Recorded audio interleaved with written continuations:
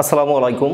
This is Mohammad Saidur Rahman Sayed welcome to Scholar Edu my dears today we are going to start an important lesson about positive verb you know positive verb means such kind of verbs which is used when the subject doesn't perform the action directly I am repeating positive verb positive verb is used when the subject doesn't perform the action directly in Bangla sentence we মেসে শিক্ষক ছাত্রকে পড়াচ্ছেন। এখানে শিক্ষকের উদ্দেশ্য নিজে পড়া না, ছাত্রকে দিয়ে পড়া আদায় করিয়ে নেয়া। আবার মা শিশুকে চাঁদ দেখাচ্ছেন। এখানে মায়ের উদ্দেশ্য নিজে চাঁদ দেখানা, শিশুকে চাঁদ দেখানো। এরকম ইংলিশেও কিছু সেন্টেন্স তৈরি করতে হয়, যেমন, আমি কাজটি করি আই ডু দ্য ওয়ার্ক কিন্তু যখন আমি বলব, আমি তাকে দিয়ে কাজটি করাই। তখন আসলে ইংলিশে এরকম করানো বলতে কোনো ইংরেজি শব্দ নেই। সেক্ষেত্রে আমাদেরকে পজিটিভ ভার্ব ব্যবহার করতে হয়। So in English language there are some verbs who have the positive forms like eat feed learn teach know inform see show you know eat means খাওয়া হোয়ার ফিড মিন্স খাওয়ানো learn means শেখা teach means শেখানো। Know means জানা inform means জানানো see দেখা show দেখানো।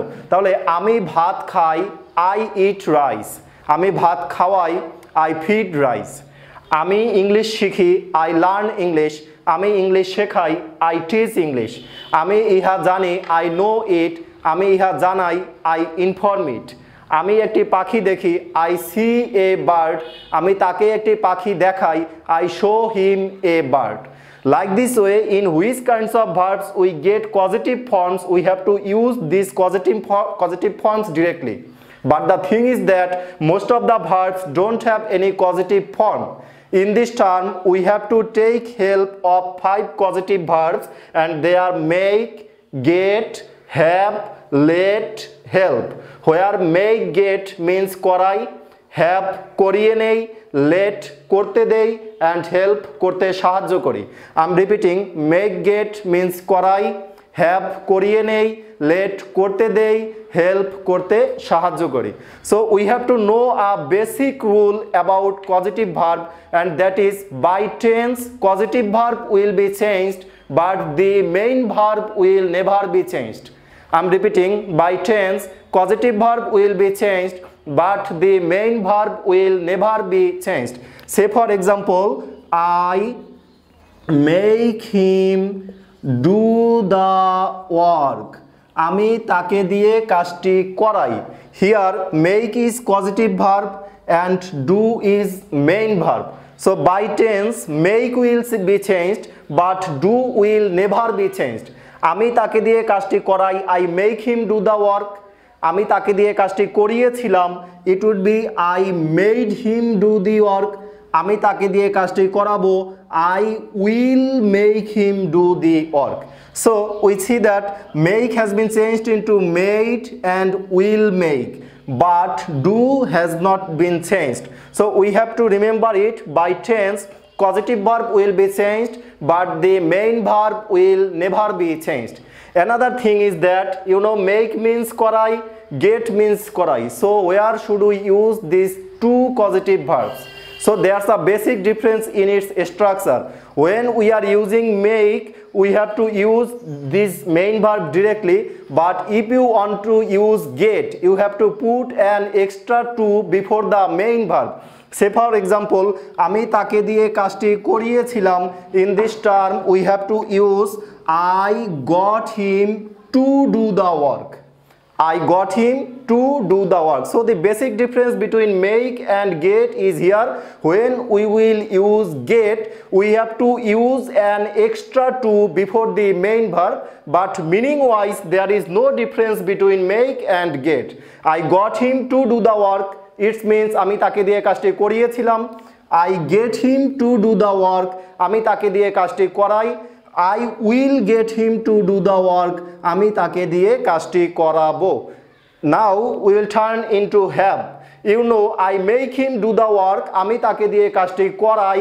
I have him do the work it means আমি তাকে দিয়ে কাজটি করিয়ে নেই।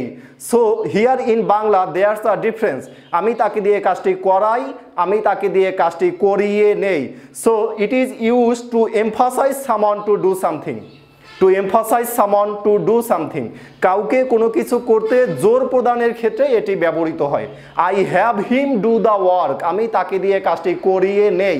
এর অর্থ হচ্ছে এরকম যে তার কাজটি করার ইচ্ছা নাই, তাকে জোরপূর্বক অথবা কৌশলে তার কাছ থেকে আমি এই কাজটি আদায় করিয়ে নেই।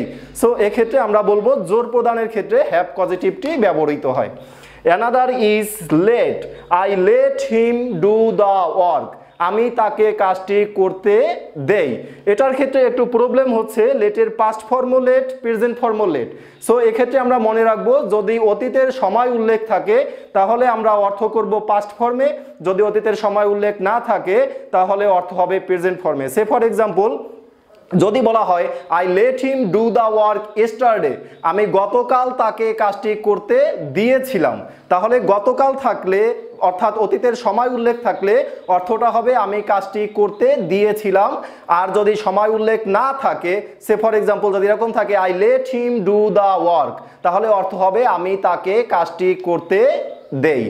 নাও হেল্প হেল্প মিন্স করতে সাহায্য করি। He it is like a simple structure I help him do the work আমি তাকে কাজটি করতে সাহায্য করেছিলাম। I help him do the work আমি তাকে কাজটি করতে সাহায্য করি।